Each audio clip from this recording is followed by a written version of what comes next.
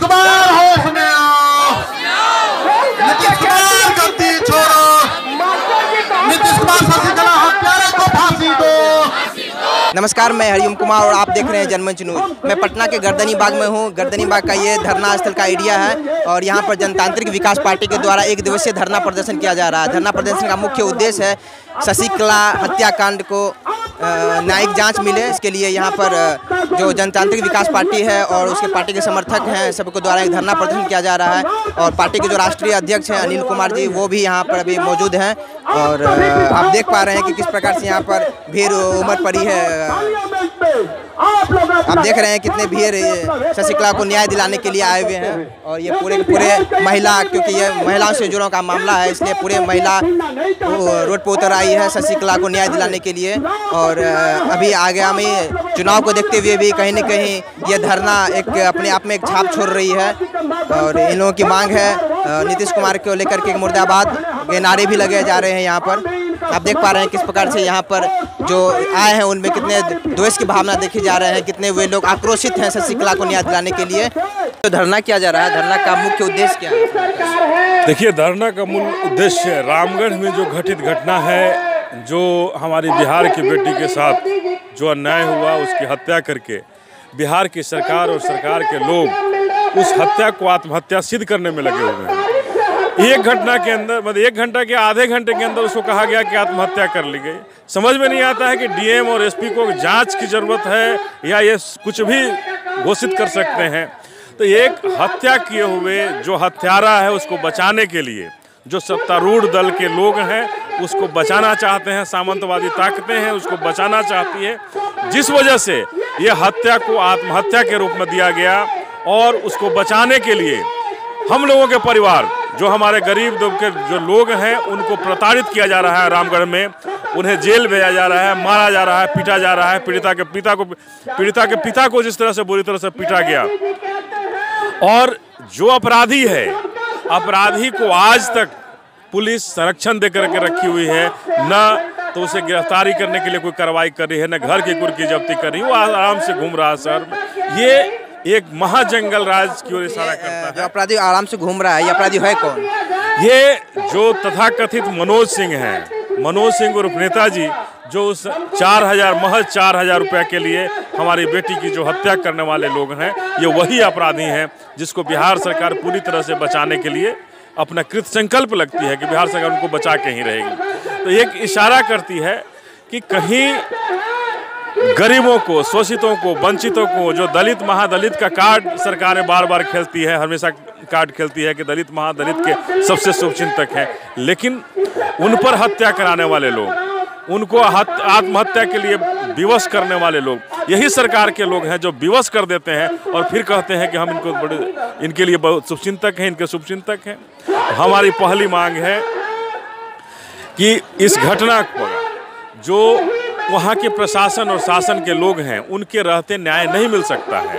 तो सबसे पहले डीएम एसपी डीएसपी थानेदार को वहाँ से निलंबित करके उसको दूसरे लोगों को वहाँ डिप्यूट करें और इस केस की जाँच बिहार सरकार से कभी भी इंसाफ की उम्मीद नहीं है, इसलिए सीबीआई की जाँच हो और पीड़िता के परिवार को 25 लाख का मुआवजा मिले और उसके घर के एक पर- परिवार को नौकरी मिले जिससे कि उसका जीवन यापन ठीक हो सके।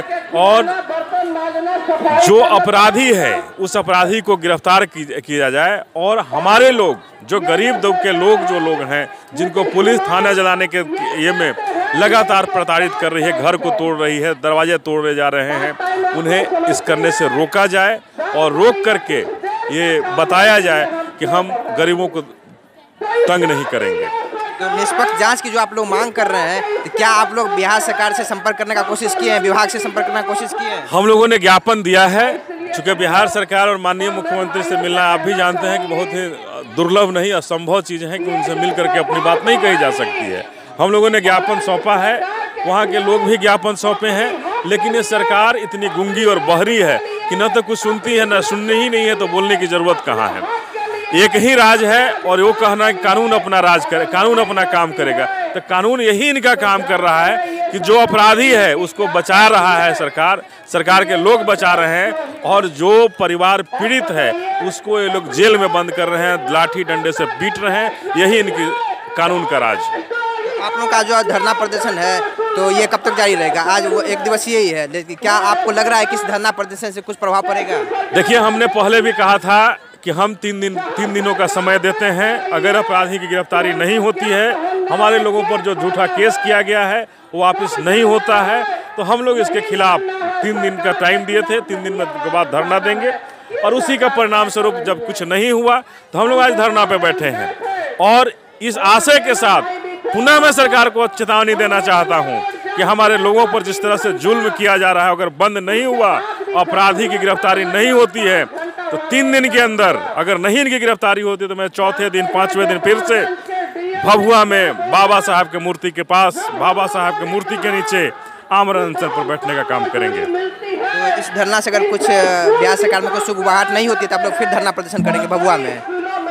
भभुआ में मैंने धरना प्रदर्शन नहीं आमरण अनशन की बात कहा कि अनशन करने का योजना बना रहे हैं। तो क्या आप मान रहे हैं कि बिहार में मौजूदा अभी जो स्थिति है वो एक जंगल राज बनी हुई है? ये जंगल राज नहीं है ये महाजंगल राज। है लालू यादव के राज को अगर जंगल राज कहा गया तो ये गरीबों पर दलितों पर महादलितों पर जुल्म करने वाली सरकार है और जुल्म करके बताने का काम करती है कि हम बहुत कानून का राज है यहाँ पर। ये जुल्मी सरकार है हिटलर शाही है और महाजंगल राज है। जंगल राज नहीं महाजंगल राज है। तो इस प्रकार जो सिचुएशन अभी बना हुआ है बिहार में तो इसका अभी कुछ महीनों के बाद में लोकसभा चुनाव होने को है। तो लोकसभा चुनाव पर क्या असर पड़ेगा इसका? देखिए लोकसभा चुनाव में असर इसका बहुत बुरी तरीका से पड़ेगा। और ये जो सरकार है मुझे पूरा भरोसा है कि इनका नामो निशान बिहार से मिट जाएगा। तो एनडीए का पत्ता साफ़ होने वाला है। इनका एनडीए का पत्ता साफ़ होगा और इनका नामो निशान मिट जाएगा बिहार से।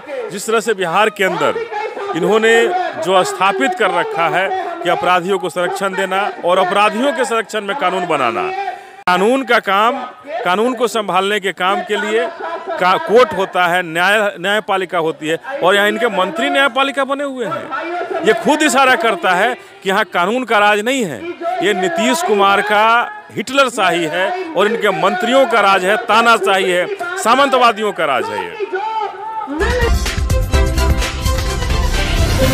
आप देख रहे हैं जनमंच न्यूज़, जन जन की आवाज़।